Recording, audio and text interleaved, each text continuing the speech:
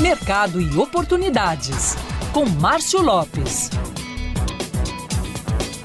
Hoje em dia, muita gente assume que não vive mais sem o famoso aplicativo de troca de mensagens WhatsApp. Mas e quando o uso exagerado desta ferramenta chega ao ambiente de trabalho? Quais são as consequências que pode trazer para o rendimento do profissional? Para falar sobre o assunto, ninguém melhor do que ele, Márcio Lopes. A ideia hoje aqui é a gente falar aí de um, de um aplicativo, de um recurso, né, que ele está tendo uma aceitação muito grande, mas é importante que haja um cuidado e, acima de tudo, um acompanhamento não só pelas empresas quanto pelas organizações, né, que é o aplicativo de troca de mensagens é, é, rápidas e instantâneas aí, onde o mais conhecido é o WhatsApp.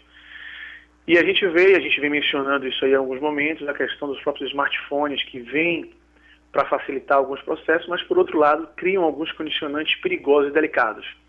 E especificamente aí na questão do, do WhatsApp, eu digo, por exemplo, que eu já tenho aqui dois clientes que estão tá fazendo uma, um levantamento muito interessante, onde você já tem algumas pessoas que inclusive explicitamente dizem que eu sou dependente, não é?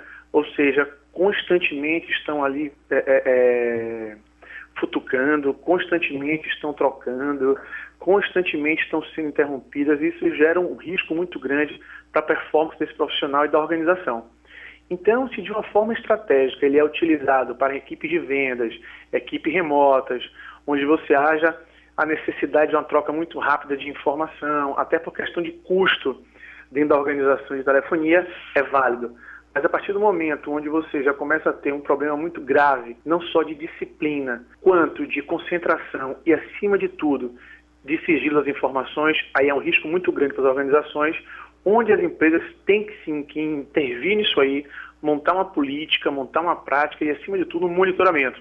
Porque se a todo instante o telefone, é lógico, é uma questão pessoal sua, mas pense você que é um operador de uma empilhadeira é, é, é, o de uma máquina de um container. Pense você que é um motorista de uma empresa. Pense você que é um enfermeiro numa intervenção muito delicada. Pense você que da mais simples função até a mais complexa, essa capacidade da dispersão.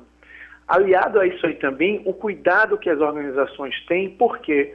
Porque sem querer este profissional disparou ou enviou o anexo, uma planilha, um relatório errado para um grupo informal ou para um grupo da faculdade onde não deveria ter tido aquela informação. A informação já foi.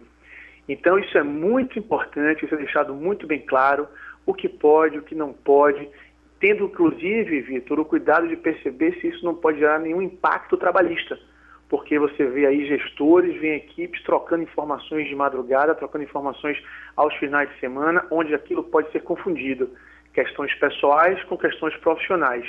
Então, esse é um ponto onde o gestor de recursos humanos, onde o empresário tem que ter muito é, é, cuidado com isso, ter muita atenção e, acima de tudo, ter uma política pré-estabelecida para que haja uma perfeita harmonia entre todos, seja o empregado, seja o empresário.